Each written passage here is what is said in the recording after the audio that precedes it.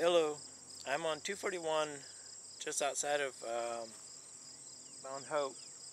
And a couple years ago I was working for a couple Amish guys in town uh, construction. And uh, we were told that there was a uh, one morning the night before there had been a, a shooting that uh,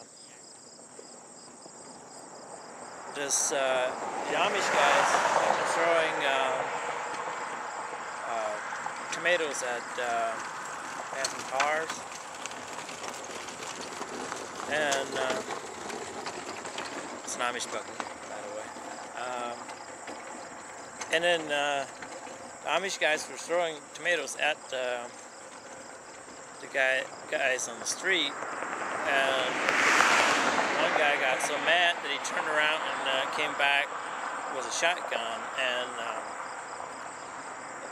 and uh, shot into the field and killed one of the, the Amish guys.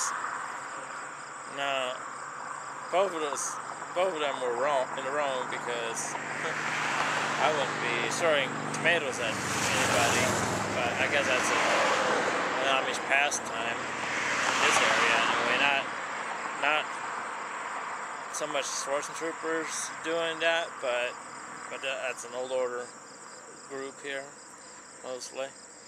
Um, but they were throwing tomatoes at passing cars, and then the and the guy um, from uh, uh, got so mad that he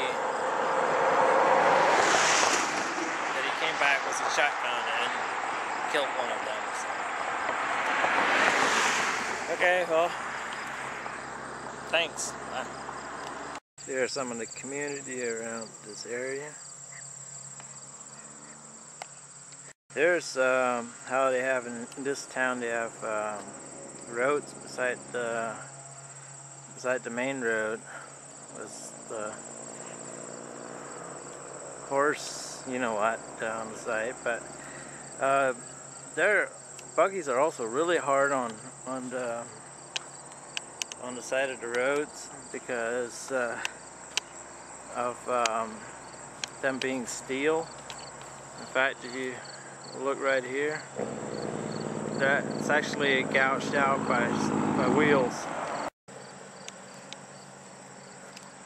I even found a part of a horseshoe on the side there.